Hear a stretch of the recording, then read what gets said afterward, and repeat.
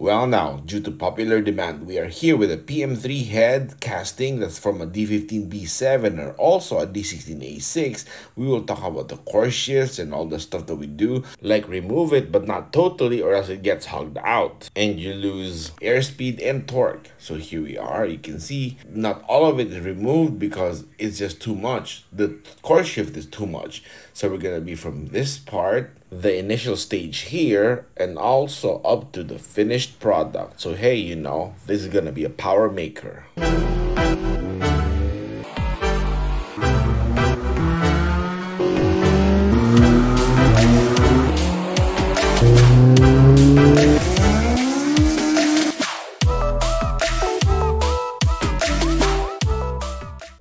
First things first, our new page is up and running because the old page I lost control of because my personal Facebook got hacked. So this new page, we're updating it almost on the daily with all the good stuff that we work on at the shop. So if it doesn't get to the videos, it gets posted there. So check it out and follow guys. Of course, link will be in the description below. Let's go, let's go. Alright, now let's go and look at the stock casting of the PM3 head. Here you can look close. You can actually see the port shape is really good, but the core shift is significant. And you can look at it close, right, right before the valve seat, before the throat, after, between the bowl and the throat. You can see the port move, the shape movement has gone a little bit to the left. So let me show you what we do when we approach such problems. And this goes for all the castings. Let's go. And here you can see on the bowl, you can look close. The valve seat is aligned well to the valve guide. But look, you can see the port itself has moved a little bit to the right or to the left, sorry. And you can see this left side here, it's indented inward. So if we clean that up, it goes way too wide or too much. And then here, it has the wall covering or imposing on the way to the valve seat or to the throat so it's covering it. It's being an obstruction sorry. See in all, every single port has different movement. So now let's start working on this and let's go straight to the porting bench. Let's carry the head over. Let's go let's go.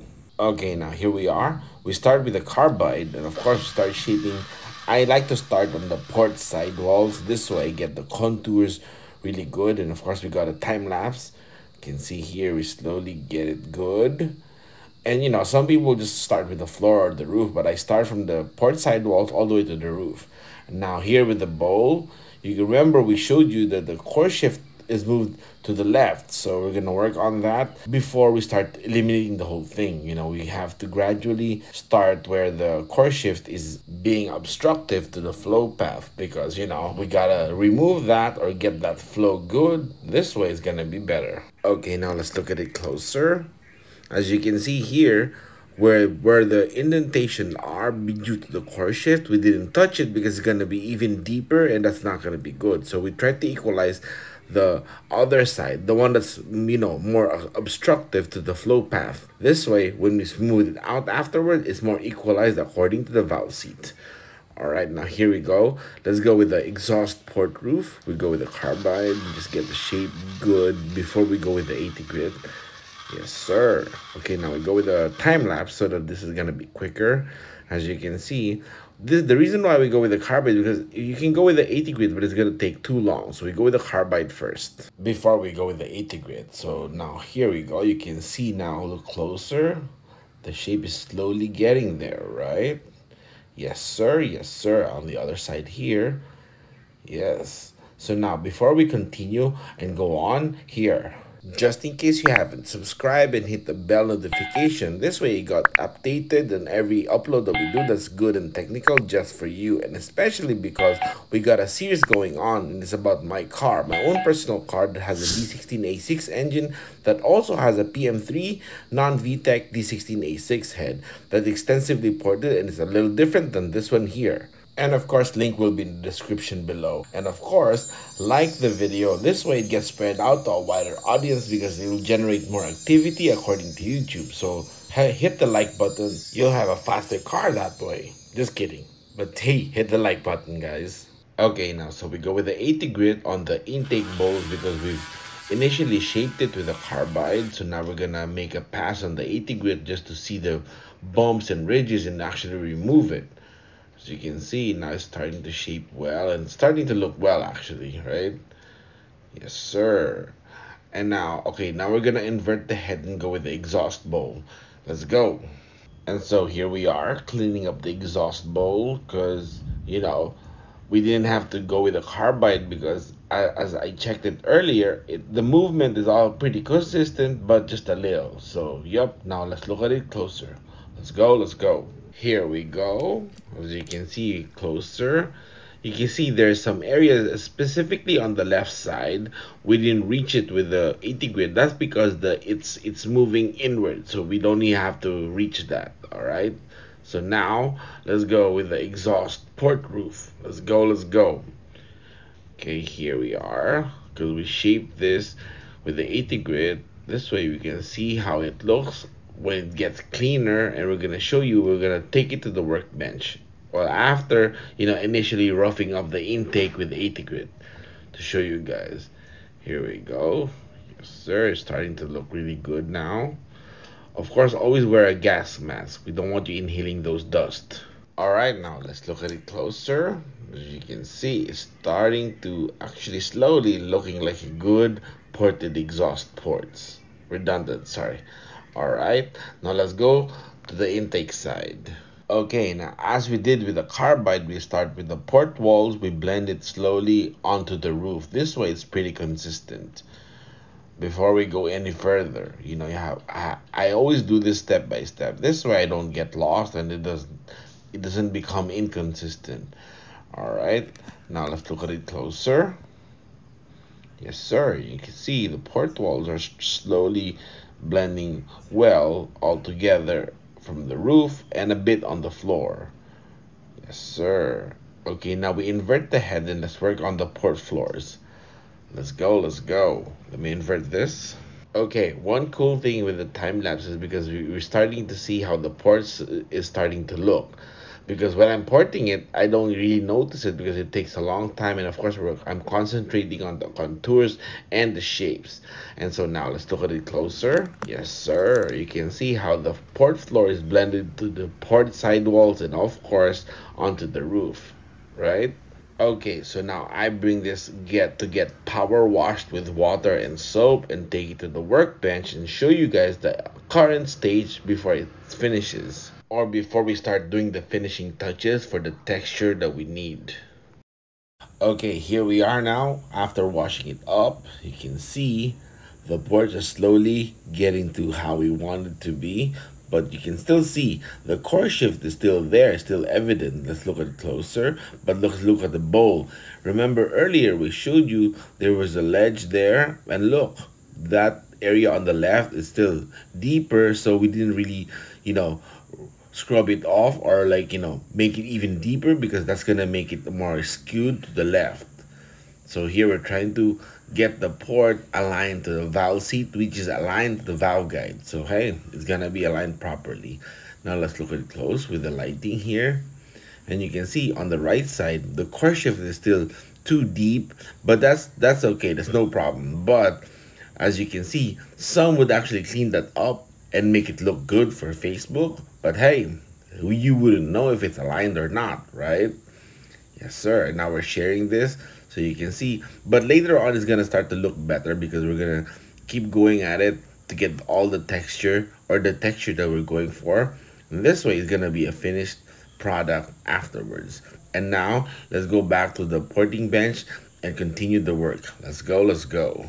Okay, now here on the intake bowl, we still go with the 80 grit, trying to get all the texture and also, of course, the shape, how we want it to be. Because the more you make a pass on this, you start to see more bumps and ridges and you can clean that up without really misaligning the whole intake port. Okay, now let's look at the bowl from the port entry side. And now here you can see the bowl and you can still see the core shift is still evident, right? We haven't really hogged it out. We're still trying to get the port alignment really good. So now let's go with the port roof or the roof of the intake ports. So now we're gonna blend it onto the side walls and you know, of course the floor is already blended well. So we're gonna connect all that. Yes, sir. Okay. And now let's move to the exhaust port. Let's work on the port floors. Yes, now you're gonna get it good. And you can see it's starting to look good, right? But of course, as mentioned in the other video, it's more critical on the port roof of the exhaust because flow naturally pushes upwards when it exits the chamber. So we're gonna get this shaped really well and really good. Yes, sir. Okay, and now let's unclip the phone and look at it closer. Let's go, let's go. Here you can see it's slowly starting to look like a good and proper exhaust port, but not yet, not yet. Okay, now let's go to the intake roof. All right, here we are. We're trying to blend the port side walls onto the roof. This way it's gonna transition really good on the shape. So yeah, we keep going. We make another pass once again. It's, this is still 80 grit, by the way. So we're making several passes until we get the desired shape that we need or want. Okay, now let's unclip the phone. Let's look at it closer. Oh yeah, now it's starting to look good. Yes, sir. You can see the port side walls, but you can still see it's not totally hogged out. We're just going for the ideal shape and the finish. And you can see even the port floor, which is the roof, really good. So now let's go to the bowls. Let's go, let's go. Here we are now with 120 grit on the intake bowl. We actually do 80 grit on the whole intake port, but the bowl for the intake and the exhaust we go 120 grit but the rest of the ports of the exhaust is also 120 grit as you can see now it's starting to get smoother and smoother we're trying to get the shape that we need and want. So it's gonna start looking clean. Now this is the exhaust bowl. It's still 120 grit because the rest is gonna be 120 grit of course. Yes sir. Okay and now we work on the exhaust port floor on the 120 grit or with 120 grit. Yes sir. You can see it's getting smoother and smoother by the looks and even the glare of the shine. Yes sir. All right now we work on the exhaust roof which is the more important area and you can see it's starting to look really good right and we're gonna look at it close when we get done with it when we're finished with this all right you can see yes sir last one all right. And now let's look at it closer. Come on, come on. Unclip the phone. As you can see, yes, sir. It's starting to look really good, right?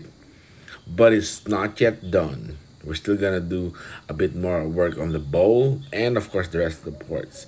All right. And then we'll look at close after we do some more work. And now it's here. You can see the intake bowls are really gotten good or it's it's got to the texture the finish that we wanted and it's on 120 grit you can still see the core shift right there on the left side right we can't really remove that or if you remove that you're gonna skew the port shape really bad it's gonna look good for facebook but hey not really all right and here's the exhaust area the side sorry the exhaust side the bowl is gotten really good too. And you can still see the core shift is still there.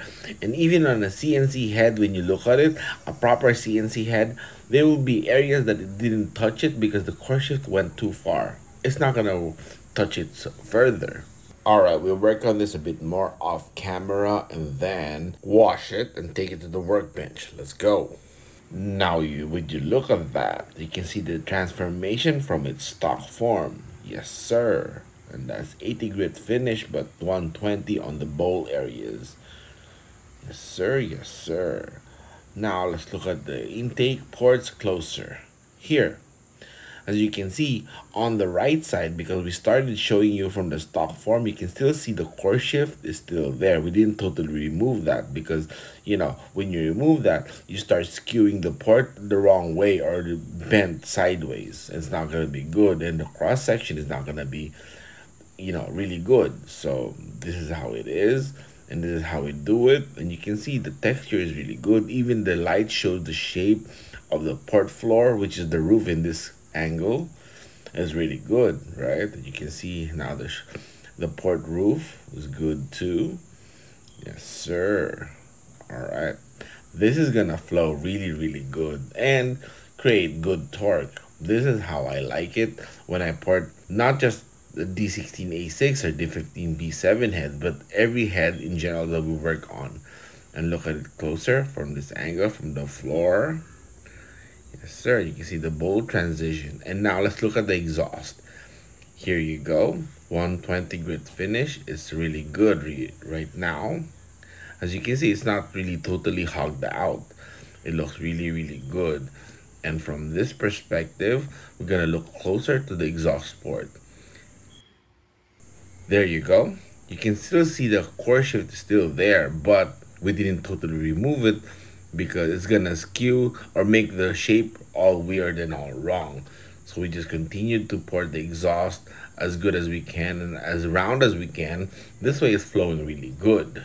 And you know, we still have no application for this head. That's why we ported this or ported this quite mild. But if you want to check out a more crazier work that I did for a PM3 head, the link on of the series of my own build is gonna be in the description and also pinned in the comments below. So don't worry about that. You can check that later because it has a PM3 non-VTEC head, but I ported it specifically for my application and you guys can check that. And also to delve deeper onto your interest, you can also click here